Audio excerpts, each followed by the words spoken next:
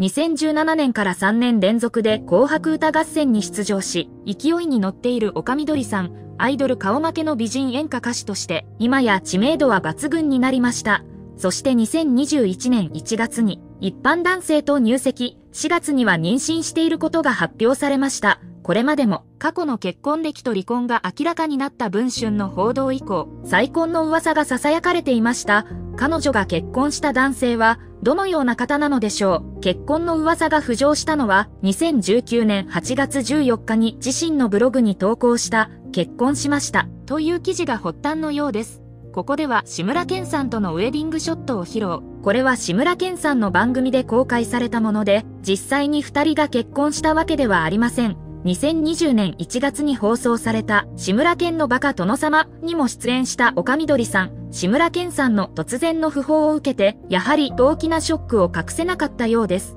共演できたことは夢のような体験であり、優しい笑顔ばかりを思い出すと振り返りました。そんな彼女に、ようやっとめでたいニュースが舞い降りました。2021年4月27日に結婚、妊娠していたことが報道されたのです。一方で、今回の報道と同時に、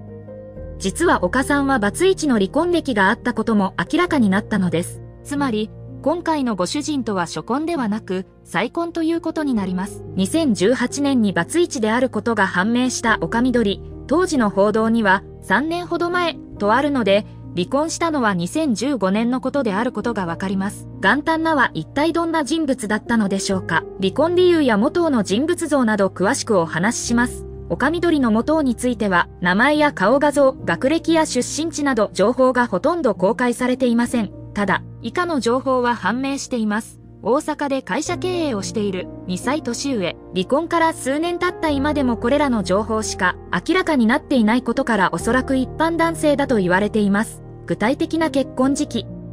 元が経営する会社の詳細や年収などは全て不明となっています。当時岡緑は大阪で活動していたので、元夫も大阪が拠点だった時期に出会ったのでしょう。2015年に元夫と離婚した岡緑ですが、離婚理由は一体何だったのでしょうか。実は岡緑は当時、演歌歌手となるために上京することを決意していました。当初はアイドルとしてデビューした岡緑ですが、幼い頃から演歌好きの祖母の影響で様々な演歌歌手のコンサートに行っていました。特に鳥羽一郎の歌を聴いたことがきっかけで、自分自身も日本人の心や風景、情緒、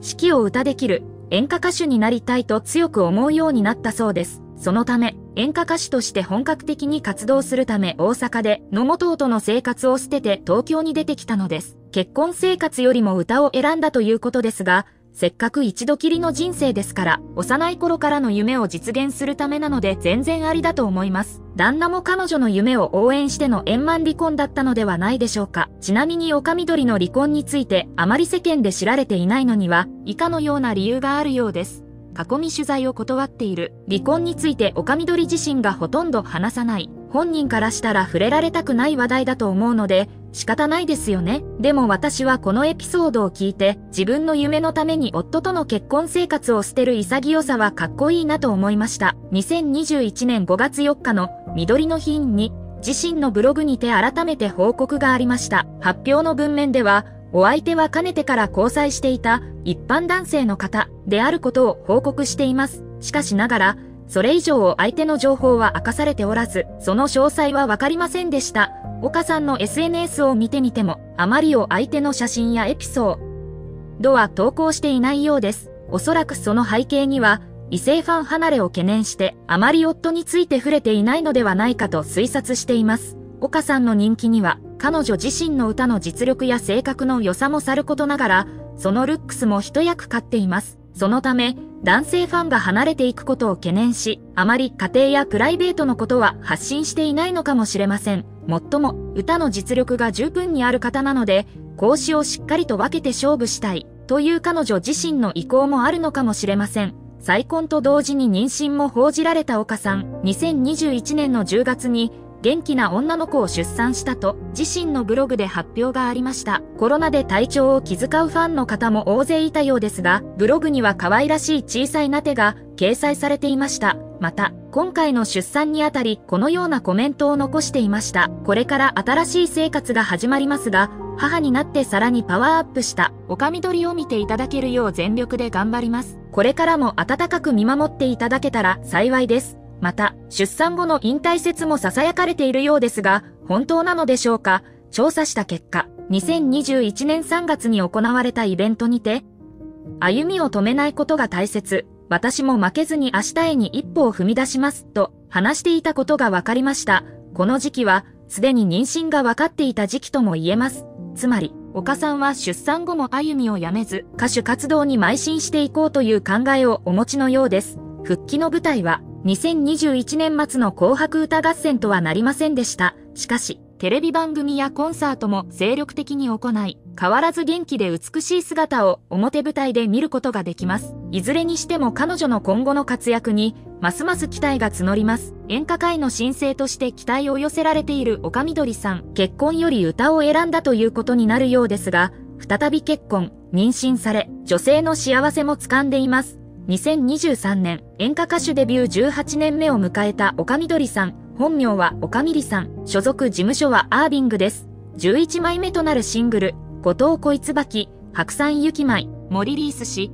充実した日々を送っています。2019年は3年連続の紅白出場を果たし、引っ越し大名。で映画にも初出演、バラエティ番組で見せる親しみやすいキャラクターも人気を集めているようです。とはいえ、ここまでの歩みは山あり谷ありの苦労人、兵庫県姫路市で生まれた岡みどりさんが民謡を習い始めたのは5歳の時、そんなある日、祖母と一緒に見た鳥羽一郎さんのコンサートに魅了されて演歌歌手を目指します。小学5年生で兵庫県日本民謡最名人選の県名人に選ばれたのを皮切りに多くの民謡コンクールで優勝。山崎高校在学中にオーディションに合格し、18歳でホリプロ大阪のホップクラブとしてデビューしました。けれども芸能界デビューは演歌歌手としてではなく、5人組のアイドルグループホップクラブの一人としてでした演歌歌手の夢を断ち切れず、音楽の専門学校で歌を学び直すことに、2005年におけさ渡り鳥でようやく演歌歌手デビューしますが、へそ出しルックとミニスカートに、そんな衣装で演歌を歌うな、とバッシングが、以降10年、大阪を拠点に活動しますが鳴かず飛ばず、さらにデビュー直後に最愛の母に大腸がんが見つかり、看病のために芸能活動を一時休止、母は帰らぬ人となり、事務所移籍を経て、佐渡の夕笛、がようやく大ヒット、同局で紅白初出場を果たしたのはデビュー13年目のことでした。2016年、意を決して上京し、事務所もレコード会社も移籍して再出発を切ることになりました。キングレコード移籍第1弾のシングル、霧の川が日本作詞大賞優秀作品賞に輝くなど注目され、2017年の第2弾シングル、佐渡の夕暮れ、雨の木屋町が大ヒットとなって同年の紅白歌合戦に初出場を果たします。2019年10月には10人の女性作詞家による女心を歌ったアルバム、女心十人十色をリリース、映画やバラエティ番組にも活動の幅を広げており、認知度、注目度ともに上昇中です。元アイドルならではの今風美女が歌う演歌で話題を呼んでいる岡みどりさん、演歌の歌姫として、ますますの活躍が期待されます。最後までご視聴いただき、ありがとうございました。何かございましたらコメントください。よかったら高評価とチャンネル登録もよろしくお願いします。ではまた次回でお会いしましょう。